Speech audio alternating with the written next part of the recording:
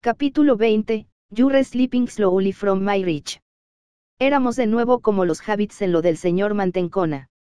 Es decir, estábamos todos juntos en el pub como la manga de larvas que somos que siempre estamos juntos. El ensayo había sido pésimo. Piglet revoleó el sintetizador a lo tren Tresner a mitad de una canción y a partir de ahí se hizo difícil continuar. Hacía dos días que habíamos tenido la revelación de James y yo no veía la hora de contarle todo a los chicos, pero claro, no parecía que Piglet y yo estuviéramos en la misma sintonía. El teclado roto del sintetizador me indicaba eso. En el pub los ánimos parecían calmarse. Al menos Xavi y Georgie, eso iba bien aparentemente porque estaban pegados como chicle y suela. Camden jugó con su cerveza agitando el vaso para luego apurar de un golpe el fondo del mismo. Xavi estiró sus manos y se desperezó como un gato acurrucado en los brazos de Georgie mientras que éste movía la cabeza para recostarse cómodamente en la pared del bar. Tenía unas ojeras de trasnochado que eran inusuales en él pero pese a todo tenía buen humor. Camden apoyó el chap sobre la mesa y dijo. Eso quiere decir que los vamos a tener que ver tomados de la mano como en una canción de los Beatles. Era lo único que me faltaba, quedar haciendo el mal quinto. Xavi sonrió y poniendo su boca en forma de besos le dijo. Siempre te podemos hacer un espacio en nuestra cama, corazón. No es verdad, búscate una bella Swan. Dijo Georgie bromeando. Esto es tu culpa por llamarme crepúsculo. Georgie no hubiera sido capaz de esta insurrección. Todos menos Camden nos reímos. Los tiempos estaban cambiando y rápido. No pude evitar que una especie de nostalgia me invadiera. ¿Acaso estaba mejor cuando ignoraba todos los peligros del mundo sobrenatural? ¿Acaso mi familia lo estaba? No tenía manera de asegurarlo, James se había acercado a mi hermana hacía unos seis meses. Yo estaba con la banda y los chicos hacía un año y no había sospechado nada de ellos. Ahora me parecía una cosa increíble que hubiera pasado tanto tiempo sin pensar nada extraño de sus comportamientos.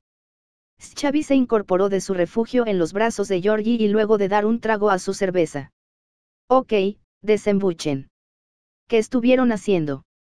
Y no les creo que solamente estuvieran follando como conejos gay por tres días, aunque, no, no lo creo. Remató su frase.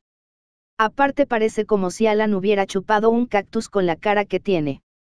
Exacto, no es cara de felicidad, es cara no sé qué carajos hacer con mi vida ahora. Yo huelo los problemas a metros. Ambos parecen preocupados. ¿Qué pasó? No sabía si Piglet quería que hablara o me quedara callado. Si no lo involucrara a él, los problemas, si hubiera sido una chica o un chico grande me hubiera hablado sin pensarlo, pero en ese momento me di cuenta que tenía la boca abierta para decir algo, pero las palabras no salían.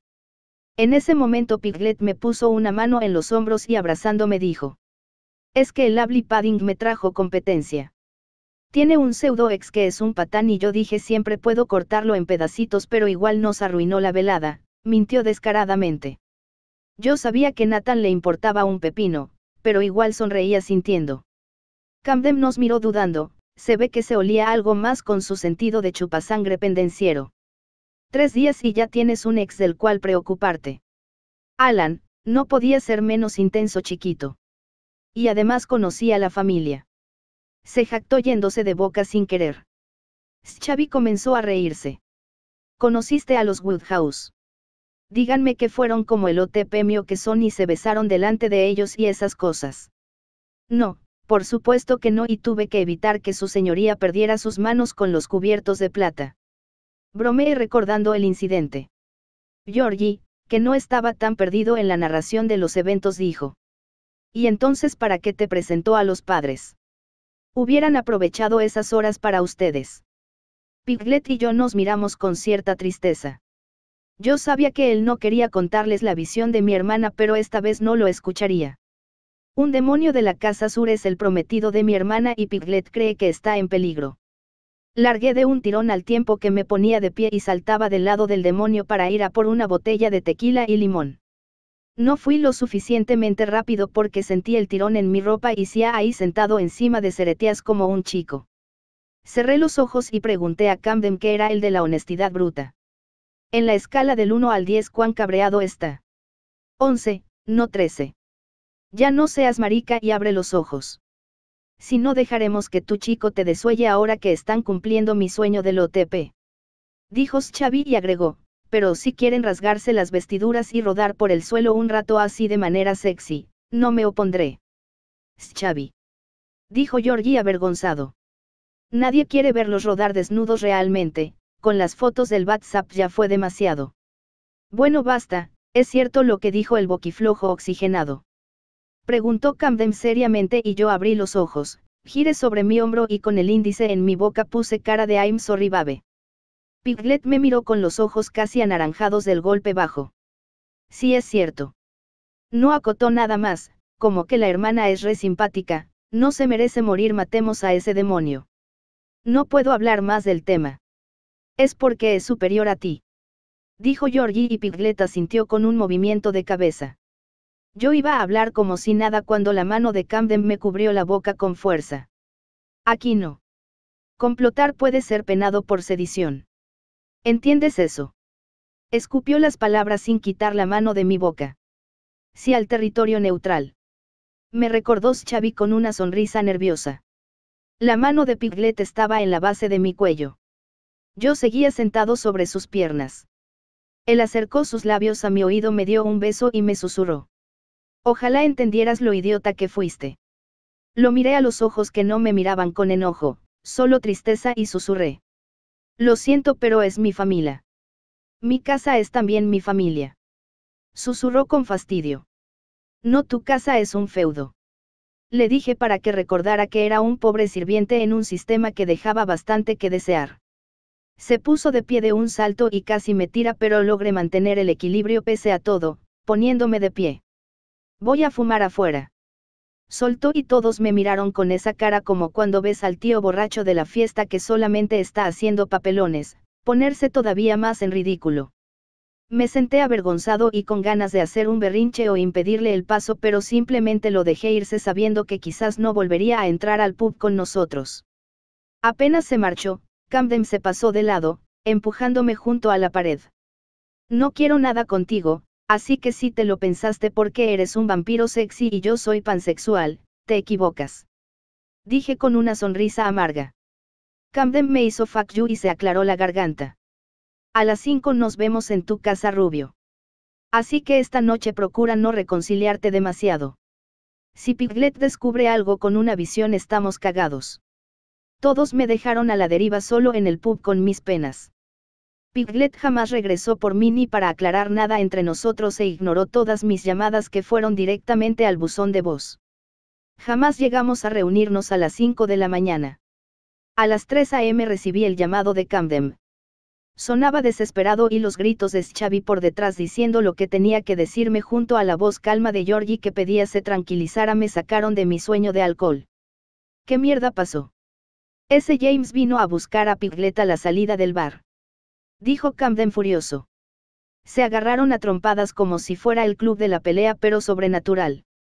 Mi pulso se había acelerado a 800, mi boca se había secado de golpe, mi sien palpitaba y de pronto no sabía quién era o cómo me llamaba, solo me importaba saber de él. Revolví mis mantas y salté al piso descalzo.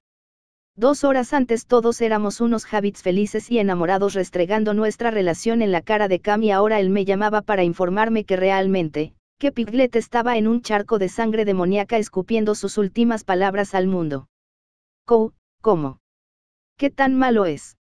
Me las arreglé para preguntar con el miedo palpitando en el centro de mi pecho. Grave. Piglet está mal al, dijo Xavi llorando por detrás. Sentí que Camden la silenciaba. No es nada que no pueda dormir en una noche, pero esto va a traer implicancias con su casa. Va a tener que salirse del radar para evitar conflictos, ¿me entiendes? Dijo Camden como si fuera un soldado armando una estrategia de guerra. No. Quiero verlo. Dije sonando como el adolescente cagado que era en esos momentos. Los Woodhouse estaban marcados por la Casa del Sur como objetivo al. Sí, pero él es, mi mentor. Él me dio mi don y aparte ese James recién apareció hace seis meses. Quería hacer cuentas, Decir Piglet es anterior, él llegó a mi vida primero, pero me figuré que poco importaba si se trataba de un demonio de rango superior. Al menos déjame verlo una vez más, anda Cam. Sentilos no, lo vas a poner en riesgo. Que balbuceaba mi piglet pero poco me importaba, haber escuchado su voz me reconfortaba. Ahora dependía de la nunca extensa bondad y amor de Camden. Bien, ven a la casa de Piglet ya mismo. Es lo único que puedo hacer. Apúrate. Gritó Xavi y mi mundo colapsó cuando la línea se colgó del otro lado. A veces uno ve en las películas que el personaje recibe un llamado y se desata una tragedia. Uno no espera realmente recibir esos llamados. No sabía cómo estaba Piglet pero tenía que asegurarme de una cosa antes de irle a ver. Marqué el contacto pese a la hora y luego de unos ocho llamados me respondió. Mierda, ¿qué quieres? Dijo Pauline del otro lado con voz dormida. ¿Estás con James? Pregunté con la voz entrecortada. No, se fue a su casa hace unas horas, pero ¿qué te importa? Quería decirle, James atacó a Christopher James es un demonio malvado James puede matarte. Pero lo único en lo que podía pensar era en las palabras de Camden, complotar puede ser penado por sedición. Nada es que me pareció verlo en un pub con una morena. Lo siento PJ. ¿Qué? Preguntó sin entender mi hermana. Y sin dejar que siguiera interrogándome colgué el teléfono. Necesitaba preocuparme por Piglet y quizás, solo quizás podría crear la ilusión de que James era un bastardo. No un bastardo sobrenatural, sino un mal tipo de esos que hay por todas partes en la vida. Prefería romperle el corazón a mi hermana que dejar que un demonio la rompiera a ella o al resto de mi familia. Tomé el grimorio conmigo, me vestí en un santiamén y literalmente salí corriendo a ver a mi hermoso demonio pensando en lo peor. Por el amor de Batman, que esté bien.